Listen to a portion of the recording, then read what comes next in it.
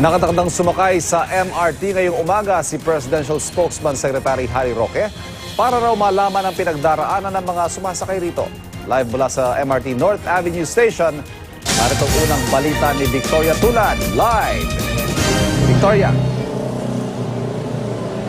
Ivan, bagamat alas 6 na ng umaga, di gaya noong mga nakaraang araw, ay hindi pa ganoon kahaba yung pila ng mga pasahero dito sa may North Avenue Station ng MRT. Umaabot na rin ito dito sa may ibaba, pero mabilis din namang nakakaakyat yung mga pasahero gaya kanina at hindi pa nga siya ganoon kahaba. Samantala, kahapon, tatlong beses nagkaroon ng aberya sa MRT.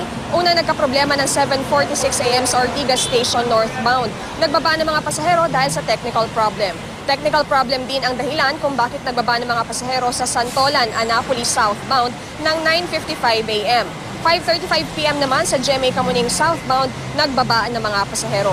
Ngayong umaga nga, mismo si Presidential Spokesperson Harry Roque ang nakatakdang sumakay sa MRT. Bandang alas 9 raw mag-MRT ang kalihim mula rito sa North Avenue Station hanggang sa Taft Station. Pagkatapos ay lilipat siya ng linya ng LRT Taft hanggang sa Grand Central Station. Nauna nang sinabi ni Roque noong Martes na nais niyang malaman ang hirap na pinagdaraanan ng mga pasahero para mas mailapit ang mga hinaing na ito sa pamahalaan. Samantala, Ivan, para naman sa dagdag na impormasyon pa tungkol sa mga serbisyo na ibinibigay ngayon sa mga pasahero ng MRT bilang ayuda at tungkol na rin sa lagay ng trapiko, ay makakasama natin si uh, Binibining uh, Celine Pialago, ang tagapagsalita ng MMDA. Good morning, ma'am. Ah, good morning Victoria at sa lahat po ng ah, viewers, magandang umaga po. Nakikita po natin ngayon dito sa ating likuran yung MMDA shuttle and nung past days meron ding mga P2P buses. Hanggang kailan natin maasahan yung serbisyong ito? Ah, pangmatagalan po ito, no? hanggat kailangan po tayo ng ah, mga motorista, hanggat kailangan po nila ng libreng sakay, hanggat nakikita natin na tinatangkilik naman po yung P2P buses, makikita nyo ho ang libreng sakay, kalayaan rides ng MMDA. Pag-usapan naman po natin yung stricter implementation doon sa motorcycle lanes o yung blue lanes. Kumusta po yung compliance? Ah, so far, mas marami pa rin tayong nahuhuli. Ano? Hindi pa ganun kasanay yung publiko na magiging stricto tayo sa pag-implementa ng yellow lane at saka ng motorcycle lane. Though yung ating mga kababayan sa ngayon, sana yung mga motorista, hindi na ganun kadami yung magpasaway. Kasi kadalasan sa kanila medyo nahihirapan sa pag-assess ng 100 meters. Kaya magkakaroon tayo ng mga street signs. Asahan niyo ho yan, kompleto na ho yan by next week. Pero ho, as much as possible, ayaw ho natin na magpaka-critical doon sa 100 meters. Paglilinaw lang po, doon sa mga private motorists, bawal silang dumaan sa yellow sa bus lane pero pwede doon sa motorcycle lane. Yes, so ah, yun yung sentimiento ng mga riders natin. Ano?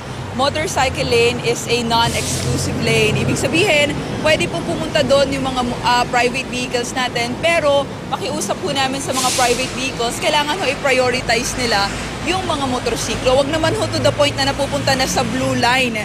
Blue lane po ito, hindi blue line. So kawawa naman ho yung ating mga riders. Bigyan ho natin sila ng enough na espasyo para makapag-overtake sa kaliwa at wag ho natin silang igit-git na makalabas sila sa motorcycle lane. Oh, on that note, hindi ba agrabyado yung mga motorista natin, yung riders?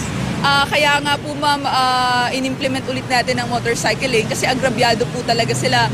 In fairness ho, ah, nung dalawang araw ho na naitala, kahit ho yung motorcycle lane natin ay hindi pa ganoon ka strictly implemented dahil kahapon lang po, di ba?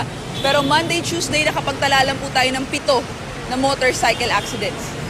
Yung pito po na yon, sobrang laki ho ng layo nun sa 55 accidents per day na sila ho ay involved. So, yung nabanggit yung ma'am, agrabyado, yes ma'am. Kaya nga po, sineparate natin sila for their safety and at the same time, tuwing po may maa-aksidente na nagpo-cause ng traffic, maiwasan po natin yun. Doon naman po sa mga nagbibisikleta sa EDSA, ano ang paalala niyo po? Ah, sa totoo lang ho, ah, ang EDSA ho ay hindi bicycle area. May mga areas po tayo kung saan meron mga bicycle lane, BGC, meron din ho sa Makati, meron sa Mandaluyong.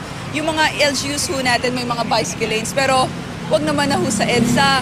Ah, kung inilayo nga ho natin yung mga motorcycle sa bus lane, saan pa ho po yung ating mga nagbibisikleta? So hindi ho, hindi ho po pwede sa EDSA.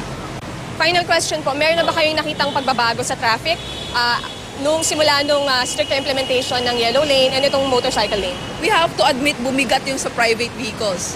Dahil uh, syempre 300,000 ang dumadaan sa EDSA ay pribadong sasakyan na naghahati-hati sa tatlong lane. So 100,000 vehicles per lane. Mabigat po talaga. Pero ho yung objective natin na ipakita na ang yellow lane ay posibleng maging fast lane para ho makaengganyo tayo ng mga pribadong motorista na mag-bus na lang, na mag-public transport para ho mabawasan ho yung volume sa usapin ho na yon successful ho kami. Yung mga P2P buses ho namin nakakadalawa hanggang tatlong trip. Yung mga time po ng dating nila ay 40 to 50 minutes lang. Hindi ho tulad noon na 1 hour and 40 minutes. So effective po tayo sa usapin ho ng yellow lane na gawing fast lane para sa mga pampublikong sasakyan. Alright, thank you very much po ma'am for your time and for answering our question. Thank you, thank you. Ayan, Ivan, si Ms. ah, Celine Pelago ang tagapagsalita ng MMDA. Samantala, Ivan, sa lagay naman ng trapiko dito sa may North Avenue ay ah, maluwag pa yung parehong southbound at northbound direction ng EDSA. Yan muna ang latest na dito sa MRT. Balik sa inyo, Ivan. Maraming salamat, Victoria Tulan.